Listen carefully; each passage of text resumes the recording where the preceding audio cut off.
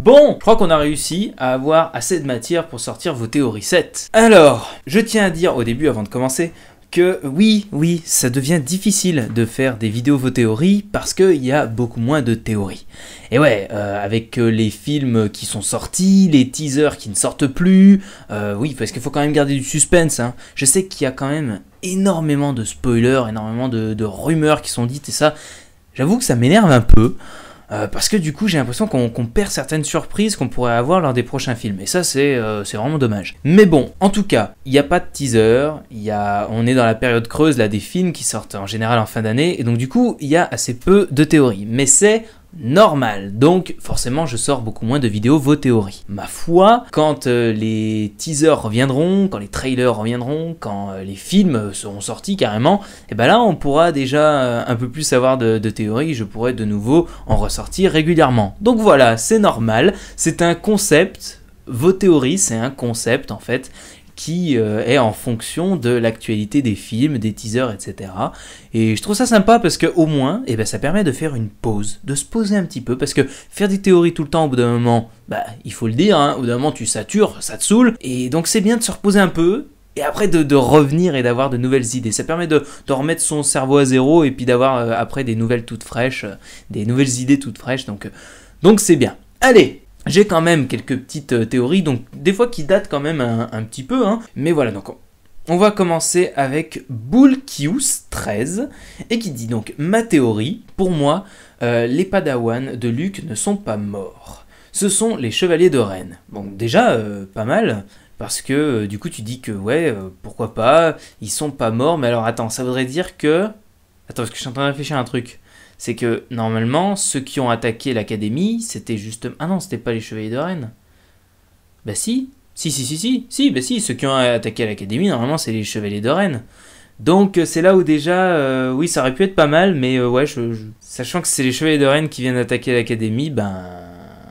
Je sais pas, à part si les Padawan ont été, ont été endoctrinés tout comme Kylo Ren, et que euh, ce soit des Padawan déjà grands qui sont retournés contre Luke alors qu'ils étaient déjà encore dans l'académie. Allez, on va dire que c'est possible ça. Rey est la fille de Han et Leia. Ah, donc euh, quelqu'un qui n'est pas d'accord avec moi. Euh, donc la sœur de Kylo Ren, elle était l'apprentie de Luke et quand Ben, Kylo Ren, a recruté tous les Padawan pour leur montrer que son grand-père Dark Vador était très puissant et qu'il était euh, du côté obscur, Luke est parti avec Rey et a effacé en partie sa mémoire, il l'a exilé sur Jakku et a menti à Han et Leia en disant que Rey était morte et que Kylo Ren avait tout détruit. C'est pas mal. Alors c'est pas mal. Du, coup, tu, oui, tu justifies un petit peu ce que j'ai dit, c'est-à-dire que c'est vraiment Kylo Ren qui a, qui a monté le cerveau d'un peu tous les autres euh, Padawan. Euh, ma foi, les plus petits euh, ont été tués, hein, du coup, euh, mais ceux qui avaient son âge ont pu se retourner contre Luke, oui. Après, bon, tu dis Luke qui efface la mémoire à, Rey, là, je suis un peu moins d'accord parce que on n'a jamais eu vraiment cette notion-là dans les films et je sais pas trop comment ça peut être possible. Bon, on va dire pourquoi pas, mais je pense que tout simplement, comme je l'avais dit dans mon décryptage, eh bien que Rey a tout simplement ne s'en souvient tout simplement pas parce qu'elle était trop jeune. Voilà. Après, oui, bon, du coup, tu expliques bien comment ça se fait qu'elle était sur Jakku, que Anne et Leia, euh, sachant que euh, Rey serait leur fille, eh ben, qu'ils ne s'en souviennent pas parce qu'ils croient qu'elle est morte, et que peut-être quand il a réentendu le nom de, de Rey, il s'est dit Ah, mais sans vraiment deviner que, que c'était euh, que c'était elle. Aussi, je pense que Finn est le fils de Lando Carlician. D'accord. Donc là, ouais, tu, penses un peu comme moi pour la théorie que j'avais faite sur Finn. Ok, ensuite on a Phil Bill qui me dit Selon moi, Lord Santeka père de Rey. Alors attends, déjà, père de Rey, t'as vu l'âge qu'il a? Euh, Ça pourrait être possible, mais, mais père de Rey, Lord Santeka, hmm, est descendant de Obi-Wan. Descendant de Obi-Wan? Ouais, d'accord, donc c'est-à-dire que oui. Ok, donc ça voudrait dire que si Lord Santeka est le père de, de Rey, ça voudrait dire que euh, Obi-Wan alors serait euh, serait le père ou le grand-père euh, de la femme à Lord Santeka. Voilà, bon, je, suis peut-être en train de m'y perdre un peu, vous, vous, me corrigerez, mais avec ouais, ces histoires de descendance et tout, là, je... Bon, ok, écoute, euh, pourquoi pas. Euh, Karmaz dit à Rey... Attends, ah, tu justifies. Attends, on va voir. Karmaz dit à Rey que ceux qu'elle attend sur Jakku n'en reviendront pas. Santeka est mort de la main de Kylo. Oui, pourquoi pas Hmm, Oui, oui, oui. Qu'elle attend sur Jakku Oui, mais non Parce que Lord Santeka était déjà sur Jakku. Donc euh, comment elle pourrait attendre quelqu'un qui y est déjà? À part s'il a fait semblant de partir et qui s'est en fait euh, mis de l'autre côté, un peu comme avait fait Obi-Wan avec Luke. Euh, il le surveillait de loin, quoi, donc euh, c'est peut-être ça. Mais bon, moi, à mon avis, quand, quand Maz dit que, ce qui, sa famille ne reviendra pas, c'est euh, soit parce que sa mère est morte et parce que son père, Luke, selon moi, euh, serait exilé et qu'il a décidé de ne pas revenir. Étudier ensuite euh, Finn, le fils de Lando, donc comme ma théorie, et puis Poe est le fils de Jyn Erso et Diego. Pourquoi pas? Parce que c'est vrai qu'il ressemble quand même pas mal à Diego. Alors pas seulement au niveau physique, mais au niveau mental, il a l'air d'être un peu pareil, même si bon, c'est vrai qu'on connaît pas encore bien Diego. Et aussi, ouais, euh, pourquoi pas? Ouais, pas mal. Ensuite, on a Morphose. Ah, ça fait un moment que tu veux passer dans les vidéos vos théories, toi, hein Mais là, écoute, euh, t'as sorti la bonne théorie qu'il fallait, hein. et donc du coup, tu, tu y passes, et tu me dis, je pense que Rey a vécu avec Luke avant d'être abandonné sur Jakku. Car tu l'as peut-être remarqué, lors de la scène où Rey prépare son repas avec le pain qui gonfle tout seul, juste avant on aperçoit une poupée doudou, doudou ou vaudou, je sais pas parce que ça a l'air d'être un peu les deux, euh, sur une étagère à l'effigie d'un pilote de la rébellion habillé en orange.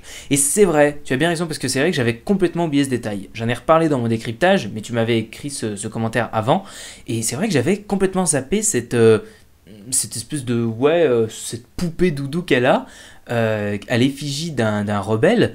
Et c'est vrai que là, du coup, franchement, ça soulève énormément de questions, ce petit détail. Parce que ça voudrait dire que ce serait quelqu'un qui lui aurait donné, quelqu'un qui était anciennement dans la résistance, ou alors quelque chose qu'elle a trouvé sur le champ de bataille sur Jakku, et quelqu'un qui avait une espèce de porte-bonheur. C'est totalement possible. Tout comme euh, le casque qu'elle avait trouvé près du TBTT. Là, euh, il y, a, un peu tout, euh, tout qui peut être remis en question. Mais si c'est vraiment quelque chose qui lui a été donné, par son père ou sa mère ou quoi que ce soit, là il y a vraiment des, questions à se poser. Toi tu dis, c'est donc évident, elle a fabriqué une poupée. Alors, ah oui, alors, soit elle a fabriqué une poupée, ouais, à l'image de celui qui l'avait élevée jusqu'à l'abandon. C'est vrai que la poupée fait assez euh, bas de gamme, j'ai envie de dire. Donc, du coup, oui, on, on peut croire que c'est elle qui l'a créée. À l'image de celui qui l'avait élevée jusqu'à l'abandon. Mhm. Qui d'autre que Luke euh, serait-il son papa À moins que ce soit Podamron? Bah ouais, écoute, pourquoi pas? Alors, euh, Podamron, euh, oui, alors pas, pas son père, hein. Podamron ne serait pas son père, mais qu'elle le connaîtrait, ou qu'elle l'a connu, ou... Franchement, ouais, je, je sais pas. Hmm. Mais euh, si vraiment c'est quelque chose qui, aurait, qui lui aurait été donné, euh, à mon avis, ce serait, euh, ce, ce serait plutôt de, de, de sa descendance, enfin de, de ses parents, quoi. Ce serait de Luc, certainement. Hmm. Je sais pas. Mais c'est vrai que j'avais pas pensé à l'histoire de la fabrication. Donc, ouais, on sait jamais. Euh, bon, et ben là, on va arriver à une espèce de petite surprise. Parce que on a quelqu'un, et oui, à l'autre bout de mon oreillette euh, imaginaire, là, que, que vous ne voyez pas puisqu'elle est imaginaire, j'ai quelqu'un qui se situe à un endroit bien particulier et que vous connaissez, et que je vous propose de rejoindre tout de suite. Salut à tous les fans de Star Wars, j'espère que vous allez bien. On est, je suis là sur Jakku, sur la planète Jakku. Voilà, et donc c'est Julien ce film qui est directement sur place sur Jakku et qui va nous parler euh, d'une théorie sur Finn. Alors, eh bien, écoute, Julien, eh ben, je te laisse parler. À toi. Il me fixe, je sais pas ce qu'il veut. Quoi? Qu'est-ce que tu veux? Julien, on a un petit problème? Non, yate, yate Achika vidéo YouTube Euh, bon, eh ben, pour le moment, on va dire que c'est mort. On va le laisser euh, régler son souci. Et puis, on, on- on va enchaîner peut-être avec euh, d'autres théories. Et puis, on reviendra à lui plus tard. hein. Et là, euh, on enchaîne sur une théorie que j'ai prise sur Skype cette fois. Mais j'ai pas envie que ça devienne une généralité. Je préfère prendre les théories euh, parmi les commentaires. Parce que les commentaires, ça reste. Et sur Skype, oui, vous allez me dire, euh, tu peux retrouver tes conversations, mais non, non, euh, c'est un truc après, je peux, peux pas, pas facilement les, les retrouver. Donc, si vous avez des théories, c'est en commentaire, c'est pas venir me les dire sur Skype. Là, la personne, c'est moi-même qui ai choisi de la prendre sur Skype, hein, parce qu'il en avait parlé, et il a eu de la chance, j'ai, lu sa- sa- son, commentaire, enfin son, son message sur Skype, et du coup je me dis, ah bon, bah c'est pas trop mal, et donc euh, j'ai décidé de prendre ton message, mon petit Vincent Igliki, et oui, toi aussi tu voulais passer depuis un bon petit moment dans, la, dans les vidéos vos théories, et tu vois, je te cite à ton insu, tu ne le savais même pas. et donc, euh, c'est un message de, Skype directement. Euh, et, tu dis, en fait, je pense que Luke a senti le retour du côté obscur, Snoke, et avec euh, Kylo, Anne et peut-être Leia, ils ont mis au point un plan. Kylo tue, en fait, ils deviennent les chevaliers de Ren, les apprentis, les apprentis Jedi, sauf Rey, à qui on fait subir une amnésie mais on l'exclut des autres au cas où Kylo n'arriverait pas à revenir du côté obscur vers la lumière. Donc je résume, en quelque sorte, tu dis que tout ça c'est un coup monté. Pour que Kylo aille du côté obscur, pour qu'il apprenne, euh, pour qu'il prenne beaucoup de pouvoir, pour pouvoir ensuite revenir du côté de la lumière et lutter contre Snoke euh, et ça, c'est apparemment, d'après toi, Luke qui avait tout euh, calculé. Mais Ray, par contre, ils l'ont mis de côté pour, voilà, au cas où tu seras un, secours pour, pour revenir te battre bah, contre Kylo Ren qui n'aura pas réussi à revenir du côté de la lumière. C'est, c'est, j'avoue, c'est complètement farfelu, mais j'ai trouvé l'idée bonne. C'est une idée que, ben, c'est une idée que tu as depuis longtemps. Enfin, je sais que je t'entends souvent dire ouais, c'est un complot, c'est un truc comme ça, et puis tu nous l'avais jamais vraiment bien expliqué. Et là, euh, bah, j'ai trouvé ça pas mal parce que je l'avais entendu nulle part ailleurs. Tu dis ensuite, Kylo apprend le côté obscur auprès de Snoke, donc ça on le sait. Anne va vers Kylo, la scène du pont euh, sur Starkiller, et là, soit c'était prévu que Anne meure, ou fasse semblant de mourir, ce qui n'est pas le cas parce qu'il est vraiment mort apparemment, euh, mais ce qui me fait penser que Kylo aura beaucoup plus de mal que prévu à revenir euh, vers la lumière. Ouais, donc toi tu penses que normalement, voilà, c'était plutôt prévu que ben, il ne meure pas et que Anne le fasse revenir. Ce que tu dis, parce que ce qui me fait dire ça, voilà, c'est que Leia a dit à Anne, ramène-le-moi, sous-entendu, j'en ai marre de ce complot, dis-lui de revenir, mais il le tue quand même. Du coup, c'est là, oui, on se dit, euh, si on suit ta théorie, que du coup, Kylo Ren a définitivement basculé, il a, il plus toute sa tête, et que finalement, bah, ça va être au tour de Rey de, le raisonner et de se battre contre lui. C'est pas mal, c'est pas mal. Il y a, y a de l'idée, mon petit Vincent. Euh, on va peut-être pouvoir retourner du côté de Julien, non? Julien, tu m'entends? Ah, Putain, il y a des moustiques là sur, euh, sur Jakku là. Ah, bon, ok, d'accord. Bon, apparemment, il a des petits problèmes de picouse, donc eh ben, on va enchaîner. Euh... Ouais, on va enchaîner sur la dernière, hein, la dernière théorie. J'espère qu'il sera prêt après Julien ce film, hein, parce que là, il m'en reste plus qu'une. Et il me reste encore une fois, toi, Morphose. Et ouais, écoute, tu voulais y passer, et ben là, tu, tu passes carrément deux fois dans la même vidéo vos théories. Allez hop, c'est parti. Mais là, notre petit morphose, il nous a concocté quelque chose d'assez original. Je l'ai mis dans la catégorie loufoque. Je vous laisse écouter, je ne vais pas réagir tout de suite, je réagirai à la fin. Je vais vous laisser écouter. J'ai une autre théorie. Jusque-là, on se dit, ok. Bon, j'ai dit que je vous laissais écouter. Allez, j'ai une autre théorie qui me paraît tout à fait plausible. Je pense que Kishnifu est le frère jumeau de Rei. je m'explique. Pourquoi cet intérêt subi à l'univers de Star Wars Rappelons que Kishnifu a découvert l'univers de Star Wars sur des vidéos juste avant la sortie de l'épisode 7. Pourquoi affirme-t-il avec fermeté que l'épisode 7 n'est pas un remake de l'épisode 4 CF ma vidéo coup de gueule.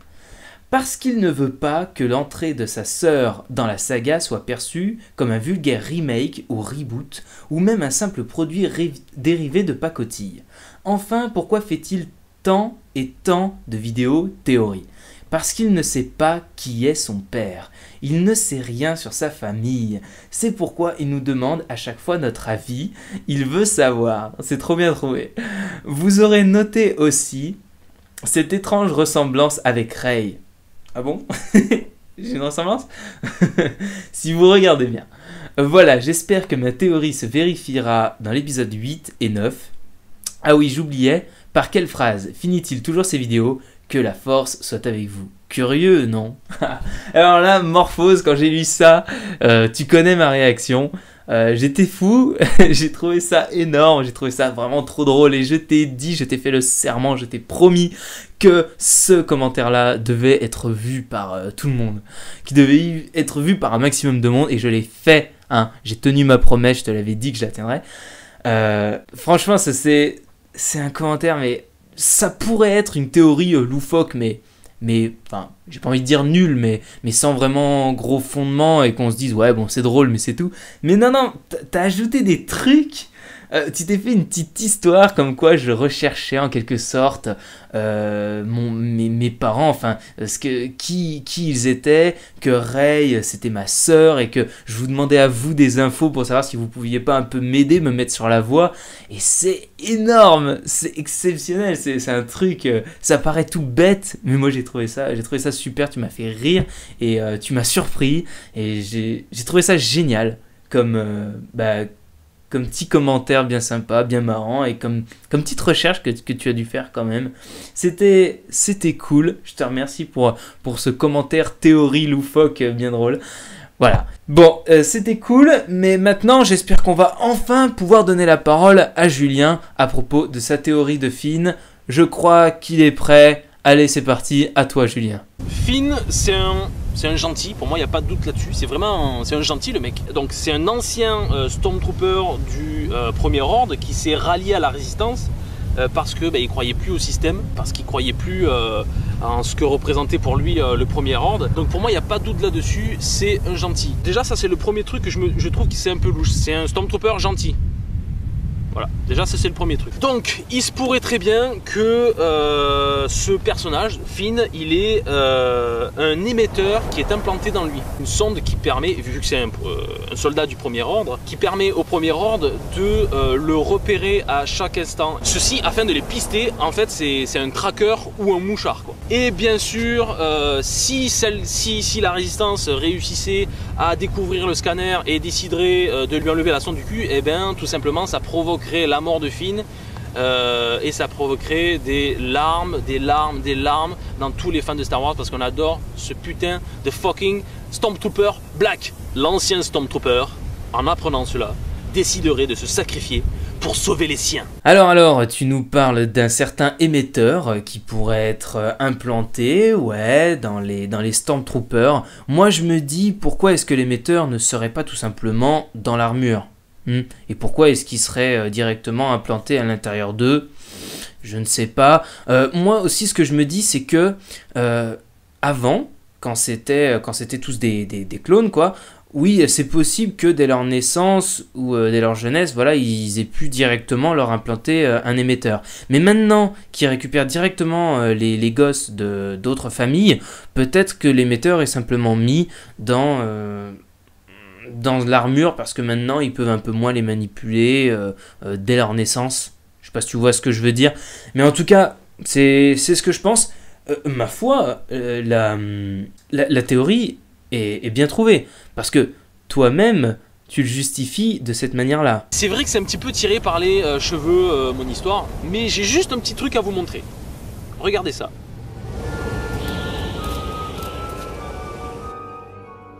Tous les esclaves ont un émetteur implanté à l'intérieur du corps.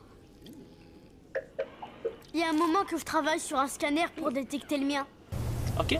Voilà, tu nous dis que dans Star Wars, il y a quand même eu déjà cette petite notion euh, d'émetteur et que cela ne pourrait pas forcément être impossible. Et tu as raison, parce que tu dis aussi cela. Alors là, vous allez me détester, euh, je rajouterai même que euh, le personnage de Finn ne sert à rien à part bien sûr à le présenter euh, dans ce nouveau film pour la nouvelle saga, euh, pour la nouvelle trilogie pardon. Mais si t'enlèves deux trois trucs que tu raccordes euh, le fait qu'il soit pas là, eh ben le film il, avance tout seul. Il apporte pas grand chose en termes d'intrigue, en tout cas. Désolé. Et mine de rien, eh ben ça, ça, rejoint en fait un petit peu ces deux petites théories, comme quoi il est inutile et qu'il a un émetteur, même si toi déjà tu, tu fais déjà le lien. C'est vrai que c'est un personnage qui n'est pas si utile que ça. Et en général dans les films, il euh, n'y a pas trop d'intérêt à laisser vivre un mec euh, qui est plutôt inutile. Alors peut-être qu'il se révélera utile par la suite parce qu'il va euh, beaucoup s'entraîner pour devenir un Jedi et qu'après il pourra se battre aux côtés de Rey et que là du coup il sera bien utile.